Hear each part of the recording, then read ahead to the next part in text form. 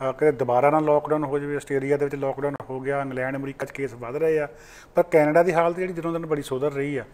ਇਸ ਤੇ ਚੱਲਦਿਆਂ ਕੈਨੇਡਾ ਸਰਕਾਰ ਨੇ ਮਿਨਿਸਟਰੀ ਆਫ ਟਰਾਂਸਪੋਰਟ ਨੇ ਕਰੂਜ਼ ਸ਼ਿਪਾਂ ਦੇ ਉੱਤੇ ਜਿਹੜੀ ਪਾਬੰਦੀ ਲਾਈ ਸੀ ਉਹ ਖਤਮ ਕਰਨ ਦਾ ਫੈਸਲਾ ਕੀਤਾ। ਪਹਿਲੀ ਨਵੰਬਰ 2021 ਤੋਂ ਕਰੂਜ਼ ਸ਼ਿਪ ਜਿਹੜੇ ਆ ਉਹ ਕੈਨੇਡੀਅਨ ਪਾਣੀਆਂ ਦੇ ਵਿੱਚ ਐਂਟਰ ਹੋ ਸਕਦੇ ਆ। ਇਹਦੇ ਨਾਲ ਕੀ ਹੋਣਾ ਕਿ ਜਿਹੜਾ ਬੰਦਰਗਾਹਾਂ ਦੇ ਉੱਤੇ ਕਰੂਜ਼ ਸ਼ਿਪ ਕੈਨੇਡਾ ਵਿੱਚ ਲੱਗਦੇ ਸੀਗੇ ਖਾਸ ਕਰਕੇ ਵੈਨਕੂਵਰ ਦੇ ਵਿੱਚ ਤਾਂ ਬਹੁਤ ਜ਼ਿਆਦਾ ਵੱਡਾ ਬਿਜ਼ਨਸ ਹੈ ਇਹਨਾਂ ਦਾ। ਸੋ ਉਹ ਇੰਡਸਟਰੀ ਜਿਹੜੀ ਆ ਸਾਰੀ ਬੜੀ ਅੱਜ ਖੁਸ਼ ਆ। Hotel motel Vancouver restaurants downtown ਦੇ ਵਿੱਚ ਜਿਹੜੇ ਆ, ਨਾਲ ਦੀਆਂ ਟੂਰਿਜ਼ਮ ਇੰਡਸਟਰੀ ਤੇ ਨਾਲ ਦੀ ਨਾਲ ਸਾਡੀ ਟੈਕਸੀ ਅਤੇ ਰਾਈਡ ਸ਼ੇਅਰਿੰਗ ਇੰਡਸਟਰੀ ਜਿਹੜੀ ਆ, ਉਹ ਬੜੀ ਪ੍ਰਭਾਵਿਤ ਹੋਈ ਸੀਗੀ।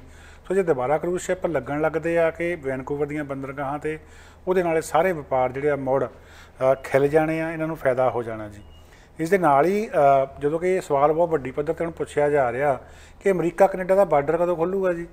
ਤਾਂ ਸਾਰੇ ਲੋਕ ਜਿਹੜੇ ਆ ਆਪਣੇ ਜਿਹਾ ਲੱਗਦਾ ਹੁੰਦਾ ਵੀ ਚਾਹੁੰਦੇ ਆ ਕਿ ਬਾਰਡਰ ਜਿਹੜਾ ਜਲਦੀ ਖੁੱਲੇ। ਖਾਸ ਕਰਕੇ ਪੰਜਾਬੀ ਜਿਨ੍ਹਾਂ ਦੀਆਂ ਦੋਵੇਂ ਪਾਸੇ ਰਿਸ਼ਤੇਦਾਰੀਆਂ ਆਉਣ ਜਾਣ ਬਹੁਤ ਆ ਉਹ ਚਾਹੁੰਦੇ ਆ ਕਿ ਇਹ ਬਾਰਡਰ ਜਿਹੜਾ ਜਲਦੀ ਖੁੱਲ੍ਹੇ ਖੁੱਲੇ। ਅਸੀਂ ਅਮਰੀਕਾ ਜਾ ਸਕੀਏ ਅਮਰੀਕਾ ਵਾਲੇ ਕੈਨੇਡਾ ਆ ਸਕਣ। ਪਰ ਇਸੇ ਦੌਰਾਨ ਇੱਕ ਕੰਪਨੀ ਵੱਲੋਂ ਸਰਵੇਖਣ ਕਰਾਇਆ ਗਿਆ ਵੀ ਦੇਖੀਏ ਓਵਰਆਲ ਲੋਕ ਜਿਹੜੇ ਆ ਉਹ ਕੀ ਕਹਿੰਦੇ ਆ।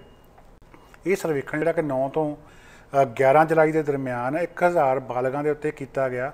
ਤੁਸੀਂ ਬੜੇ ਹੈਰਾਨ ਹੋਵੋਗੇ ਕਿ ਇਹਦੇ ਵਿੱਚ 80% BC ਨਿਵਾਸੀ ਜਿਹੜੇ ਉਹ ਕਹਿੰਦੇ ਵੀ ਬਾਰਡਰ ਬੰਦ ਰੱਖੋ ਹੱਲੇ।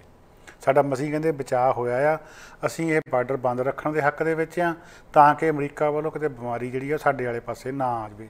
ਇਸੇ ਤਰ੍ਹਾਂ ਜੇ ਕੈਨੇਡਾ ਲੈਵਲ ਦੇ ਉੱਤੇ ਗੱਲ ਕਰੀਏ ਤਾਂ ਅ, 70% ਤੋਂ ਉੱਪਰ ਲੋਕ ਜਿਹੜੇ ਸਰਵੇਖਣ ਦੇ ਵਿੱਚ ਕਹਿ ਰਹੇ ਆ ਕਿ ਬਾਰਡਰ ਬੰਦ ਰੱਖਣ ਦਾ ਹੀ ਕੈਨੇਡਾ ਨੂੰ ਹਾਲ ਦੀ ਘੜੀ ਲਾਭ ਹੈਗਾ ਆ। ਅ, 80% ਲੋਕ ਜਿਹੜੇ ਅਜਿਹੇ ਆ ਜਿਨ੍ਹਾਂ ਨੇ ਇਹ ਗੱਲ ਕਹੀ ਹੈ ਕਿ ਬੇਸ਼ੱਕ BC ਦੇ ਵਿੱਚ ਹੁਣ ਮਾਸਕ ਲਾਉਣਾ ਜਿਹੜਾ ਜ਼ਰੂਰੀ ਨਹੀਂ ਹੈਗਾ, ਪਰ ਅਸੀਂ ਫਿਰ ਵੀ ਚਾਹੁੰਦੇ ਆ ਕਿ ਲੋਕ ਜਦੋਂ ਇਨਡੋਰ ਸ਼ਾਪਿੰਗ ਕਰਨ ਜਾਂਦੇ ਆ, ਕਿਤੇ ਖਾਣ ਪੀਣ ਜਾਂਦੇ ਆ ਤਾਂ ਜਾਂ ਕਿਤੇ ਹੋਰ ਮਿਲਣ ਗਿਲਣ ਜਾਂਦੇ ਆ, ਤਾਂ ਮਾਸਕ ਜਿਹੜੇ ਆ ਪਹਿਨਣੇ ਚਾਹੀਦੇ ਆ, ਇਹਦੇ ਨਾਲ ਬਚਾਅ ਰਹਿੰਦਾ ਆ।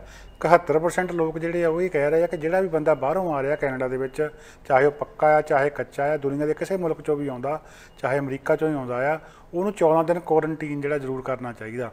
ਇਹ ਲੋਕਾਂ ਦੇ ਵਿਚਾਰ ਆ, ਇਹ ਸਰਕਾਰ ਦਾ ਕੋਈ ਇਹ ਆਦੇਸ਼ ਨਹੀਂ ਹੈਗਾ। ਸੋ ਲੋਕੀ ਜਿਹੜੇ ਆ, ਉਹਨਾਂ ਦਾ ਵਿਚਾਰ ਇਸ ਸਰਵੇਖਣ ਦੇ ਵਿੱਚ ਜਿਹੜੇ ਇਸ ਤਰ੍ਹਾਂ ਦੇ ਸਾਹਮਣੇ ਆਏ ਆ। ਸਾਡਾ ਹਰ ਇੱਕ ਪ੍ਰੋਗਰਾਮ ਦੇਖਣ ਤੇ ਸਾਡੇ ਨਾਲ ਜੁੜਨ ਲਈ ਸਬਸਕ੍ਰਾਈਬ ਕਰੋ। ਚੈਨਲ ਪੰਜਾਬੀ ਤੇ ਨੋਟੀਫਿਕੇਸ਼ਨ ਲਈ ਬੈਲ ਆਈਕਨ ਵਾਲੇ ਬਟਨ ਤੇ ਕਲਿੱਕ ਕਰੋ।